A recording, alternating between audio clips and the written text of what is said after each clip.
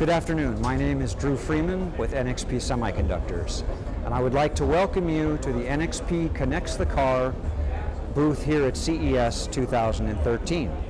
Now, if you will follow me, I would like to show you some of the great new technology that we're offering here that will enable the connected car of tomorrow with technology that's already available today.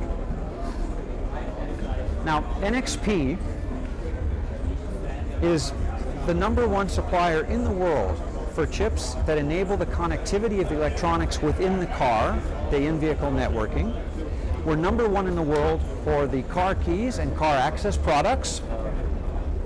So what we're showing here this week is some of our car entertainment products, such as our Class D audio amplifiers that allow very high quality audio performance at significantly lower power consumptions than you have available with your traditional Class AB audio amplifiers.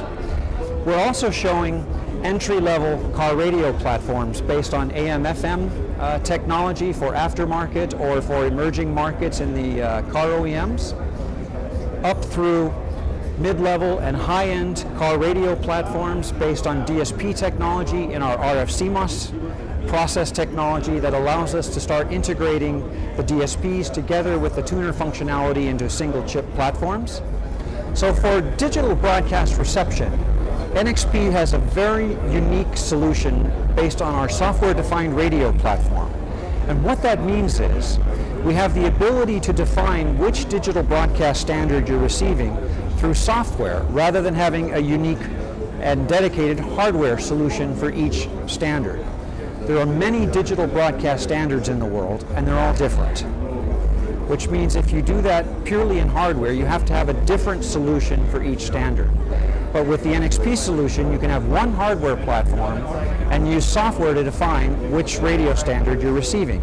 So for example, what we're showing here is a radio platform that is currently set up to receive live HD radio, which is broadcast here terrestrially in the United States, but it's a digital broadcast standard. And that's actually playing right now. And that's coming through this antenna here. Now, I can switch, for example, to a DAB, which is very much like the um, TDMB in Korea.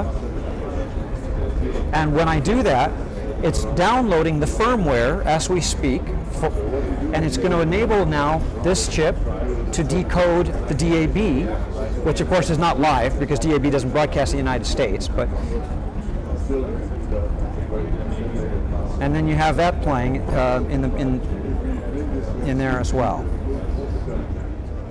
The next thing I would like to show you is our car-to-car -car and car-to-infrastructure communication platform. Now I showed you a few minutes ago our software-defined radio platform. Our car-to-car -car and car-to-infrastructure communication platform is based on the same hardware concept. So I showed you how you can actually use software to define which digitally broadcast reception you're receiving. You can do the same thing with DSRC or Wi-Fi, 802.11p in this case, which is the automotive version of Wi-Fi. And what we're demonstrating here is how if you have multiple cars, all with this Wi-Fi capability, they can communicate with each other and they know what's going on. So for example, this car here, if he hits his brakes, you see the brake lights come on, but if you have a car between you and the first car, you don't see that happening until maybe it's too late. But your car knows about it. So the car tells you that the cars ahead are braking.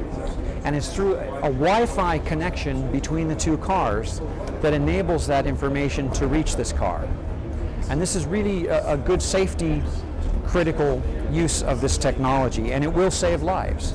You can do the same thing at blind intersections. So two cars approaching each other will be aware of each other and can give each other a warning.